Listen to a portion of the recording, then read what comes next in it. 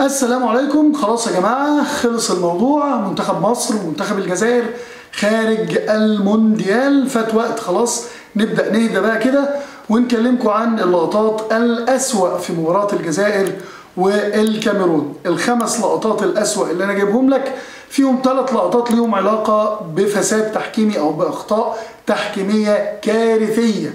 أدت لإيه؟ أدت لإنك ما تشوفش منتخب من أفضل المنتخبات العربية مش موجود في مونديال العرب. كلام كتير قوي هنتكلموا عن اللقطات وحاجات كتيرة أثناء الماتش لكن اللقطات دي من وجهة نظري هي اللقطات الأهم.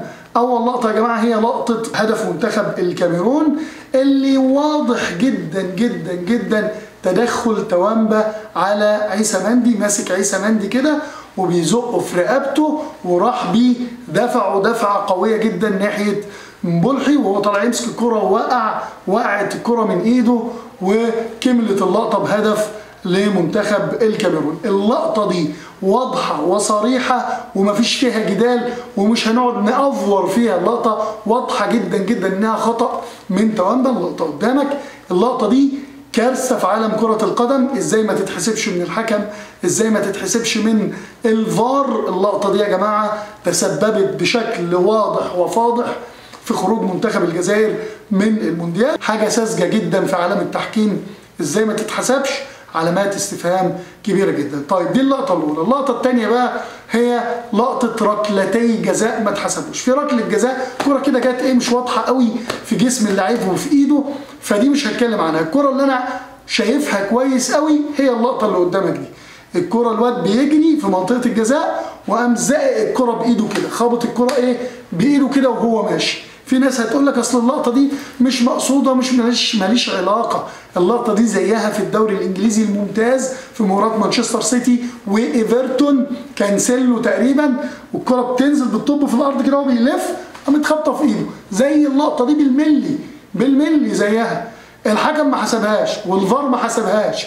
لكن خرجوا بعد المباراة طبعا كل الناس قالت لو بنت صغيرة كانت بتحكم كانت حسبت الكرة دي ركلة جزاء. بعد المباراة البتاع اللي هو الناس التحكيمي طلع أعلن اعتذاره وقال للفرقة إحنا آسفين الكرة دي كان المفروض تتحسب ركلة جزاء إحنا آسفين جدا وبنعتذر لنادي إيفرتون. أنا دلوقتي اعتذاري يعمل لي إيه؟ كمنتخب الجزائر. هيوصلني كأس العالم تاني؟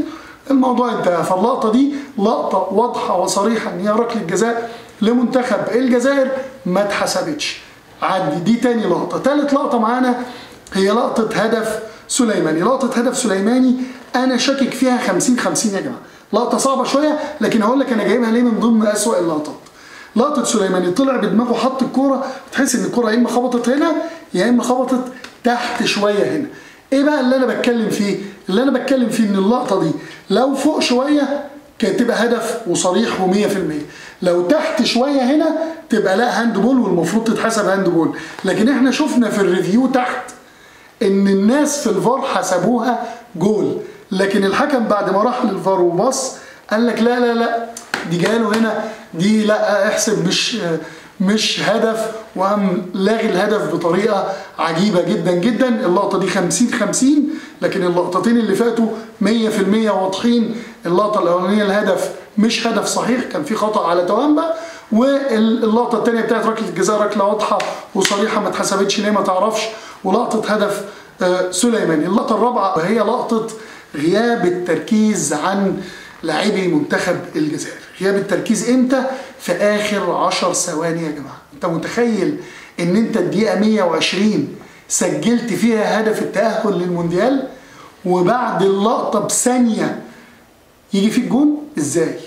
ويجي فيك جون بلقطة غريبة كرة متعلقة بالونة. اطلع في الكرة موت نفسك الكرة ما تعديش.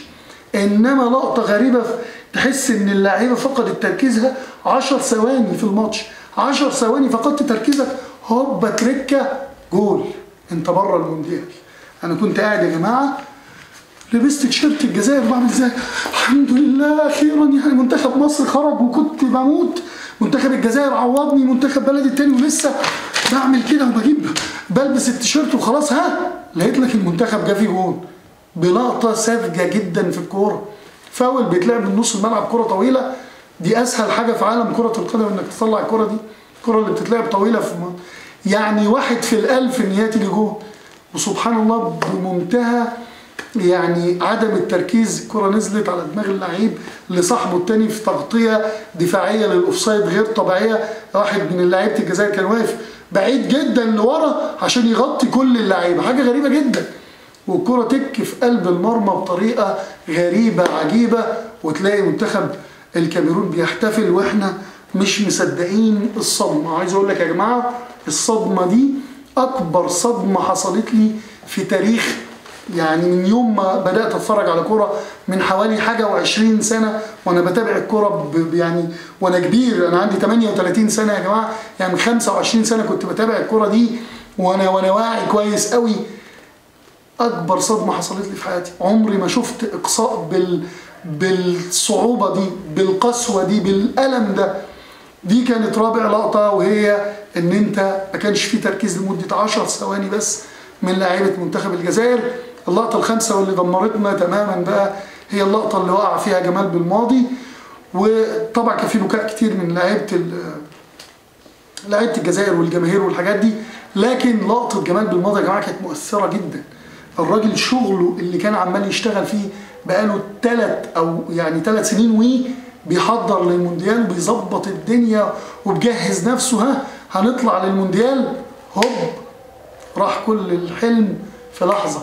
وراح إمتى؟ بعد ما بقى في جيبه وحط رجلين الاتنين في المونديال هوب كده نط وراح منتخب الكاميرون. مكاننا بصراحة حاجة مؤلمة جدا جدا جدا. لكن الناس بقى اللي بتتكلم عن بكاري جسامة. بكاري جسامة ده يا جماعة؟ أنا قلت عنه قبل المباراة قلت لكم يا جماعة خلي بالكم. بكاري جسامة صعب جدا وإحنا عارفينه من زمان قوي. صعب جدا في التعامل صعب جدا. راجل سيء في كرة القدم. أنا مش هقول مرتشي لأن أنا ما عنديش دليل. أقول مرتشي والكلام اللي إحنا عمالين نكتبه على ال social media ده. لكن اللي أقدر أقوله لك إن الراجل ده أخطأ وارتكب جريمة في حق منتخب الجزائر في ثلاث لقطات منهم اثنين واضحين جدا منهم ركلة جزاء ومنهم هدف احتسبه للكاميرون وهو خطأ واضح وفاضح. وكمان اللقطة بتاعت هدف سليماني اللي تحس إن الفار قال فيها إن هي خلاص لكن هو برضو ما احتسبهاش. هدف فما تفهمش فيه إيه لكن مش عايزين نفضل نكتب على ال social media يا جماعة إن لأ وإحنا هنعيد الماتش. إعادة الماتش مش هتحصل.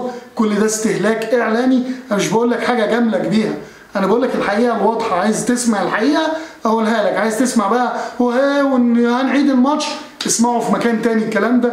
لكن الحقيقة لا مصر هتعيد ماتش. مصر طبعا قدمت احتجاجات كتيرة وعندنا عريضة كده بتجاوزات وخروقات عملها عملتها السنغال في مباراة مصر. لكن برضو المباراة لن تعاد.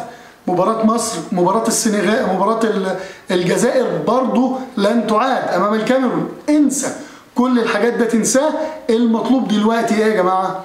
ننسى الصدمة كمان. نمتصها. دي كرة قدم مش حياة.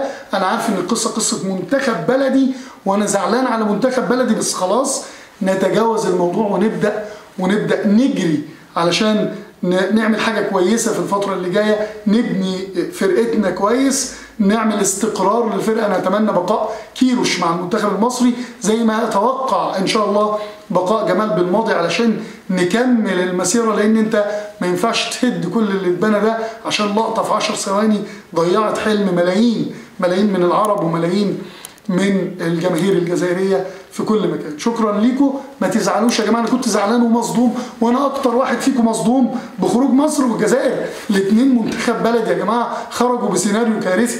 لكن ما تزعلوش إن شاء الله اللي جاي أفضل في كرة القدم ندعم اللعيبة وندعم الفرقة. نقف مع محمد صلاح قوي ونقف مع رياض محرز قوي.